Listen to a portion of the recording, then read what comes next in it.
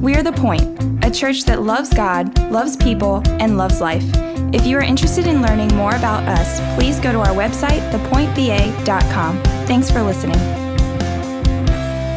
Well, today we're, uh, we're kicking off a brand new series, and I am so, so excited for this series, so excited for our time uh, this morning, which we'll get to in just a moment. Before we do, let me tell you what this series is about. This series is answering the question, or we could even see make, say making the statement, why we're here. Why we're here. And why we're here is really a statement, or it can even be a question of purpose. Like when, when you ask the question why, you're, at, you're looking for purpose and when you're talking about here, what you're doing is you're connecting purpose to where it is your place. Like, why are you here? Why are you in Charlottesville? Why Louisa? Why Crozet? Uh, why are you where you are placed? And every one of us at some point in time or another, we've wrestled with purpose, and if we've even wrestled with purpose in regards to our location. Right now, there's a lot of people who are transitioning into Charlottesville. Some of you, this is your very first Sunday here. Your very first Sunday in Charlottesville, you just moved over the course of the summer, and maybe you're, you're wrestling through that transition. It can be a hard transition. So, this is, a, is really a series of answering the question for all of us why we're here. And it's true, uh, it's good for you whether you're, you're single, in, as an individual, Maybe as a couple, you've been asking the question of purpose why we're here. Maybe you've been asking the question of purpose regarding you as a family. Um, maybe it's regarding your place on your team or among your roommates or your education, why we're here. And even for us as a church, every so often, we need to remind ourselves of why we're here. Amen? Because it's very, very easy, even as a body, as, a, as an organism, to turn inward and, and to forget that ultimately why we're here is to reach people who are not yet here with the gospel. And so, what, what I want to do very quickly is I want to turn your attention to Acts chapter 1. Okay, now the words are not going to be on the screen. I'm just going to read them very quickly. But if you, have a Bible, you can follow along. If you don't, just, just listen, uh, listen to these words from Acts chapter 1. In verse number 1, Luke writes Now, in my former book, Theophilus, which was his gospel account, the Gospel of Luke, I wrote about all that Jesus began to do and teach until the day he was taken up to heaven after giving instructions through the Holy Spirit to the apostles he had chosen. After his suffering, he showed himself to these men and gave many convincing proofs he was alive.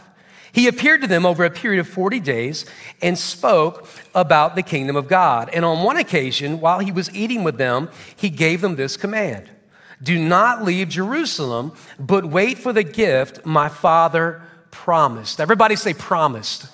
Very important word which you have heard me speak about. For John baptized with water, but in a few days you will be baptized with the Holy Spirit, the promise of the Holy Spirit. So when they met together, they asked him, Lord, are you at this time going to restore the kingdom to Israel? Now, this was a politically and military, militarily charged question. Okay? What they had in mind regarding the kingdom of God was a political rule and reign then, then and there. Okay, that's what they have in mind. That's, that's their idea. And this was a hot topic in, in their day and age. It would be like any questions in our day and age around end times. Like, are we living in times and discussion around the end times? And we look at culture and society and, and we kind of wonder, are we living in, in the last days? Well, this is the same question in their day and age. They're looking for now the Messiah to establish his rule and reign then, then and there. And he said to them, verse 7, it's not for you to know the times or the dates the Father has set by his own authority. But here's a better alternative. You will receive power when the Holy Spirit comes on you. And you will be my witnesses in Jerusalem, Judea, Samaria, and to the ends of the earth. So back to the promise and now the power. Listen to me. If the promise of God is for me, then so is the mission. If the promise of God is for me, then so is the mission, which means that we've got to be very, very careful that we don't divorce our purpose from where we're placed okay? Where you are, you have been perfectly placed by God to make an impact. And what I wanted to do this morning is, is read this from Acts chapter 1 as a reminder that ultimately, as the church, we have a responsibility also to the nations of the world. So, what I want to do today is I want to remind you, we, we've, we've said this from the very beginning, that ultimately any vision that doesn't include reaching the world for Jesus is too small. Because if, if, you, if you have limited to God to anything, if you've limited God to anything other than the world, what you've done is you've placed God in a box. And any vision that doesn't include impacting the world for Jesus is too small. And we as a church, we have a vision of in our first 50 years, we want to have 50 ongoing partnerships with 50 nations of the world. Now, we were doing really well and on track, and then this thing called COVID came along, okay?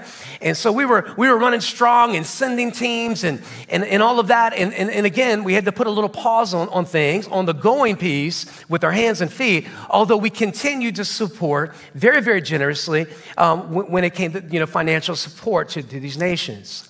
But what I want to do today as we kick off this series is I want to reorient us ultimately to, to the reminder that we are part of something so much bigger than ourselves. Every one of us. The church, part of something so much bigger than ourselves. A responsibility to, to the nations. And so, what we have is, is we have several nations we're now partnering with. And today, what I want to do is introduce you to a brand new partnership. Our very first partnership in Europe. And so, to do that, I'm going to invite to the stage a brand new partner from Poland. His name is Andrew Gorski, and he is a church planter in Poland and also the founder of Evangelical Poland, which is a collaboration movement of evangelical churches and pastors. And so, Pastor Andrew, if you would come on up, and uh, church, I want you to give him a warm point welcome. Come on, both campuses, give him a warm welcome. God bless you, Pastor. It's so good to have you. Thank you. And we are so excited, so honored, so thrilled to have you. And just to give you context, when the Russian invasion of Ukraine took place and we began to see the refugee uh, crisis unfolding, we as a church, you as a church, you begin to step up and to give so generously to the humanitarian needs in Ukraine. And it was through a partnership, someone in our church family that knew Pastor Andrew, that we were able to establish this partnership. And these guys are doing just an incredible job of responding to the needs. And responding to the needs of the Ukrainian refugees has now led to this new partnership in, in Poland.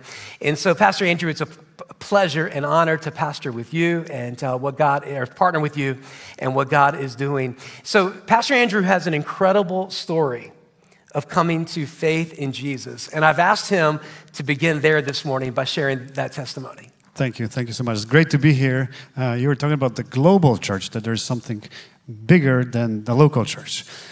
I uh, was born and raised in Poland uh, in a Catholic church. And the, in the 90s, uh, there were the good days of Chicago Bulls. I don't know if you remember Michael Jordan, Scottie Pippen. I fell in love with those guys. I, it was my high school days. I um, watched four hours of basketball per day. And I speak the language because one guy taught me that. Uh, for four hours a day, he was speaking to me. His name was Bob Costas.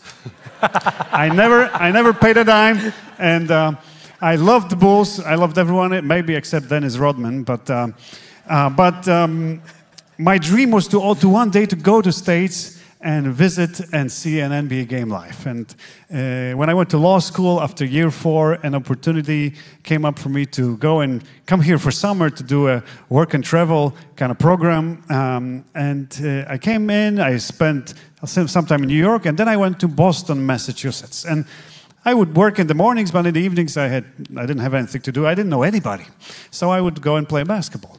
And then one day uh, I meet this guy, and we start talking, and he says uh, that he went to North Carolina University, and uh, and for me it was like, oh, that's where Michael Jordan started. So we started talking, and and I mean immediately, and he said, well, Andrew, you know what? We uh, we have this uh, Bible study going on uh, at my home, so if you'd like to come and be part of it, it would be great. And I said, sure. You know, I had been Catholic. I've been, I had been going to church every, I would never miss Sunday, but never read the Bible.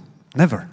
So I said, yeah, sure, why not? I don't have anything to do. So I came in, and, uh, and I, when I came in and they prayed together with their own words, and they talked about God like He was there, like He was part of their lives, it just, it, it just changed my life. And I was like, wow, what is this?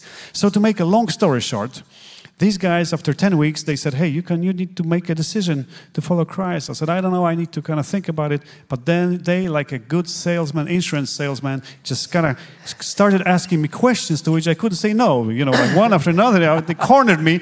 And I said, Okay, I'll pray the prayer. I mean, I just had no other argument. So, so I prayed the prayer and everything changed, changed there. Er, this was 1998. And uh, just let's quickly fast forward to today.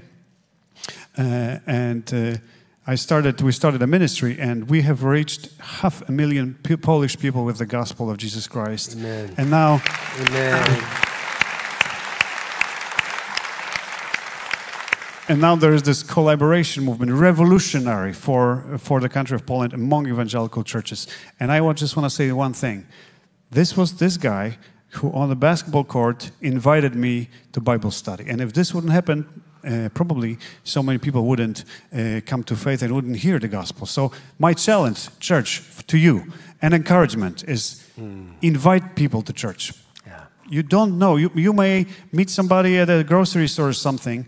Just invite them. You don't know. Maybe this will be next Billy Graham. How do you know? You don't know that. So, yeah. so just, I would even. Uh, I would even like to kind of set a challenge for you. Like this summer, invite at least one person yeah. Maybe one person per week, maybe one person per day, but at least one person invite to church. They may say no, but maybe if all of you invite one person, I'm sure some will come, and then the rest is up to God. Amen. Whew. So powerful. Amen. You know, really, we could wrap up uh, the series just after that um, while we're here. And to think that every one of us, we have people like that in our lives and uh, just incredible to hear. So, can you, Pastor Andrew, can you give us an idea of the destruction, you know, of the war in Ukraine? Like right now, uh, we see things on the news, um, what we're seeing, and you know, I know that you've only been here in the U.S. for a few weeks now, but what we're seeing, could you just speak to that? Yeah, um, of course, you see the pictures, you see, you see the destructions. We live in Poland, and there is 2 million people living in Poland right now, 2 million Ukrainians people, women and children only or mostly.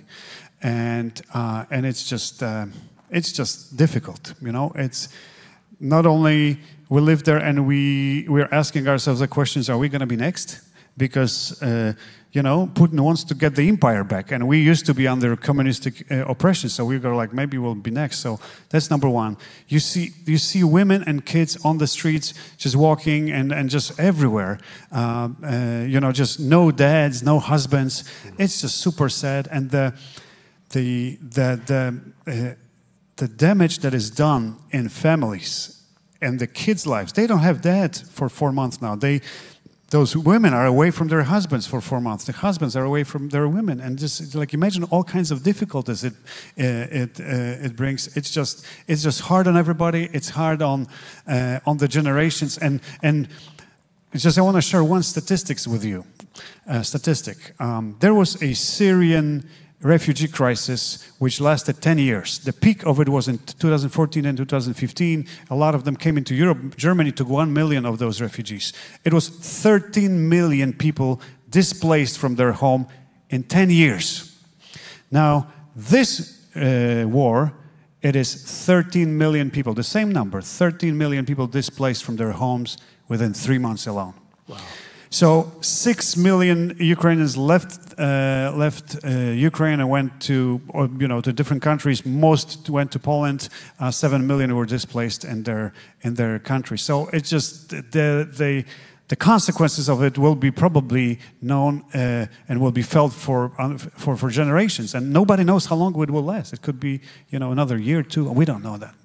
You know, one of the things that uh, struck me when we first chatted was how you know, we see images uh, on the news um, of, of a destruction and, of course, the displacement of, of the refugees.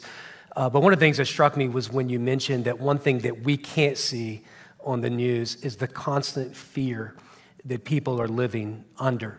And uh, could you just speak to that? It's just, it's yes. just ongoing. Well, it's, um, we have a family of refugees living, living with us in our, in our home. Uh, so we talked to the, to the lady, her name is Anna, and uh, we just dis- discuss and you know, get to know each other, share, learn of each other's cultures.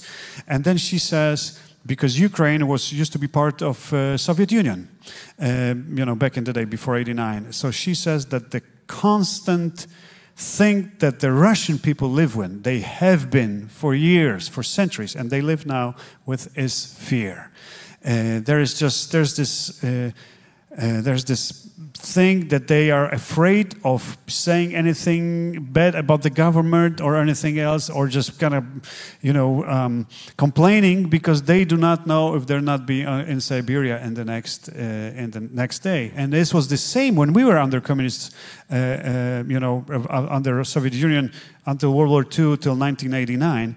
Uh, we just couldn't, and that's why the church also struggles important because we never developed the trust toward each, each other. Because you couldn't trust your neighbor. You didn't know if the Red Party didn't have something against them, then you share something, you know, with him, and then he's forced to tell what, what you know, what you said, and then, you know, your family is in, in again in Siberia next day, and it's a, it's a bad place. You don't want to live there. So the refugee crisis. Um, how, what did it look like in those first few months, and now how has it changed in the more recent months? Yeah, it's a it's a good question. You know, um, February twenty fourth, we you know we do our ministries, and then everything changes overnight. First month, complete chaos, complete chaos. People are by thousands, tens of thousands would come to, their, to, to our border and would just enter Poland. So Poles would just get on their cars, drive there, pick up a woman with their kids, and said, "Yeah, let's. I'll take you to my home." And first, the women were like, hey, "Hang on, I, we don't for for Ukrainian culture." They do not. Eh, the, the culture is you don't get anything just for nothing, and we Poles that's our culture somewhat, and we're very hospitable uh, um, society people, and we go like, "Yeah, I will take you," and they were like, first very, very afraid. And, uh, but it was communication, accommodation, chaos. Everybody did everything. Um, and very quickly, our homes, our churches, everything just filled up and there was no room. So we go like, we have to do something. So we started connecting with the Western churches. And that's where we're talking about the global church. It's not just our church in a situation of crisis.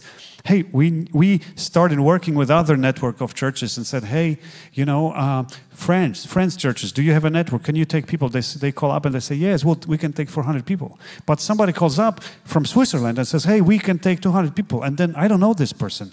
Like, how are we supposed to send three buses of people, of women and children, to somebody we don't know? So it was chaos, like trying to figure out if we know somebody who knows that person, or maybe somebody who knows somebody who knows, so we know that we're sending them in a, in a safe place. So, so it, was, it, it was difficult. And then, slowly and surely, and because also the collaboration movement that, that God was kind of uh, uh, allowed us to, to, to start at, we started talking to each other.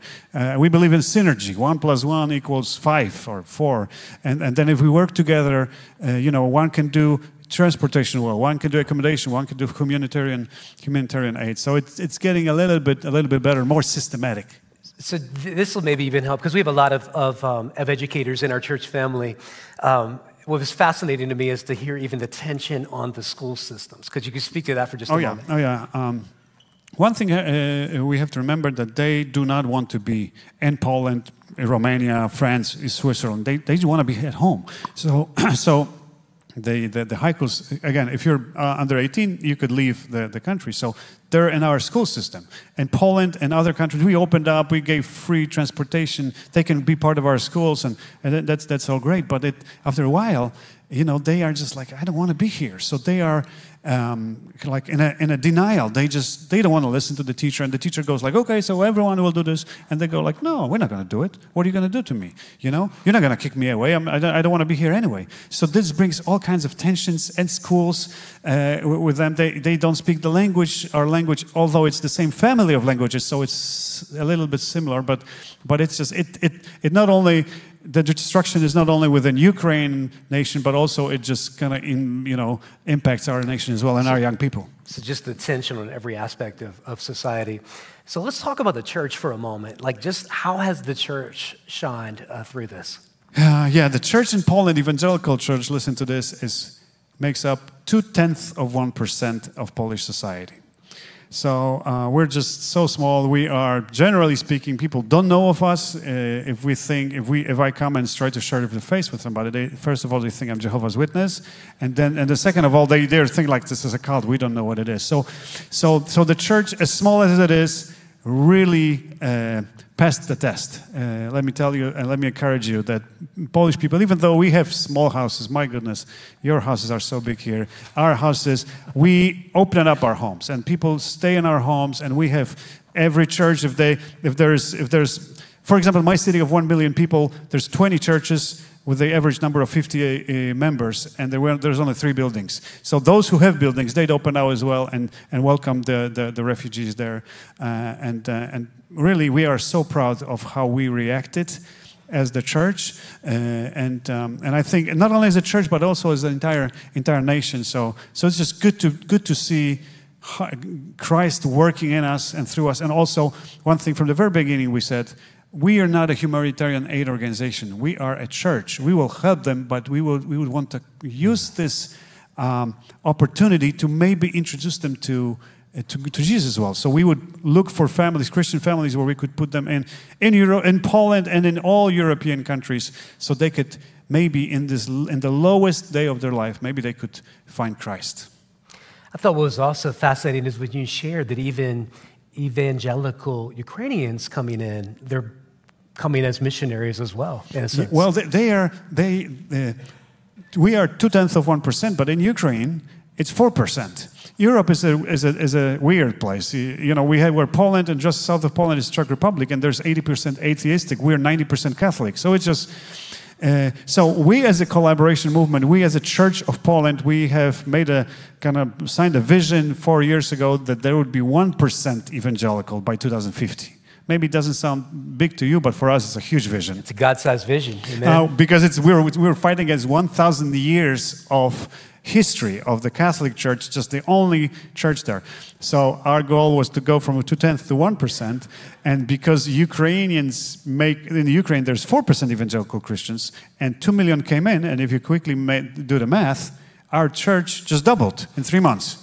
So we're almost, you know, we're half day, half, halfway there to, uh, you know, to the to the one percent. So it's, it's, of course joke, but. Uh, but, uh, but yeah, this is, that's what it is. Amen. So for a few years now, you've been leading an evangelical movement, a collaboration of, of churches and pastors, um, focusing on church planting, on discipleship, leadership development. So let's talk a little bit about that, because if we think about our partnership, yes. we're very excited for what God is doing in and through this movement. You know, yesterday, I was, no, not here. I was in, yesterday I was in Charlottesville meeting with somebody who was a missionary to Italy, and they had this saying, which I thought just beautifully uh, uh, beautifully, unfortunately, uh, um, describes uh, who we are. We are small as the church, evangelical church, historically. We are small but well divided. So um, we do not historically work together very well. Denominations do their own thing. So my heart cries to see, because everybody in the world comes together because, you know, if you're together, you're stronger. But uh, this hasn't been the case in, in Poland. So uh, I just I was weeping. I heard what God was doing in France. Uh, and I don't know if you know, in France, every 12 days there's a new church being planted. Uh, so maybe next next European country yeah. for you to find to, to, to partner with. Mm. Uh, and I thought, like, could we do this? And so so God really allowed me miraculously to start this this movement, this collaboration network of pastors, churches, kingdom-minded people, like your pastor here. Not just us, but there is more. There is church out there that, uh, that we would work together and, uh, and we've been coming together and, and, and, and focusing on, on, on developing leaders. It, has got to start there. In discipleship through discipleship going deep uh, with, uh, with people and as a result planting new churches as in my personal, my personal opinion the best way the best way of evangelism to plant new churches start new churches in poland there's 905 towns 700 do not have a single evangelical church. Wow. We are so, so thankful for your partnership, your love for Jesus, your love for the church, for church planting, for discipleship. And uh, that is our heartbeat as a, as a church as well. So we're grateful for our partnership. And I want to share as well with our entire church family um, that beginning in 2023, we are going to begin re engaging with our hands and feet um, by going back to the nations, the partnerships that we have in different nations of the world. And so we've been asked the question when are we going to begin to step back into the mission field? Of course, we've we've been supporting very generously financially, but now we're going to begin to re engage by sending teams. And I pray that you'll consider this, that you'll pray about this. If you ask me what would one dream be for, for our people of the point, my prayer is that everyone who calls the point their home will one day step foot on the, on the foreign mission field. And there's always um, those. I know that some of you, the, you're, you're running numbers in your head. Well, if, if we spent all of that money, you know, going to the nations themselves instead of on trips and things like that, that, you know, it's a lot more, it could be a lot more impact. And I get that. Like, I get the, the financial side of things. But here's what you cannot put a dollar amount on. It's the change that happens in our hearts when we go and we step outside of our mundane and our routine and you just your world just i mean it just gets opened up and you just get outside of yourself. And i'm just telling you that every time every time i've gone that god has uh, has molded and shaped me in such a significant way. It's been so life-changing. And our church family is full of people who, who have that, that very same testimony. As you leave this morning at both campuses we've got magnets that we're going to be giving you um, that's going to serve as a reminder to pray for our partnerships around the globe um, there's a QR code on the bottom that you can just scan this, and it has all the information about each partnership, the name of the partner, um, that you can pray for them by name, incorporate it into your prayer time daily, incorporate it into your prayer time with your children. Uh, let them know about the impact that you're making through your generosity. And uh, we just want to encourage you take this, and you can again scan this, and it'll have all the information. And on it as well, you'll also be sent to an interest form. So if you're interested in going on a trip in 2023, uh, you just fill out the interest form. That doesn't commit you, but it does, again, just kind of get your name in, into um, so that we can follow up and, and, and give you more information uh, about next steps.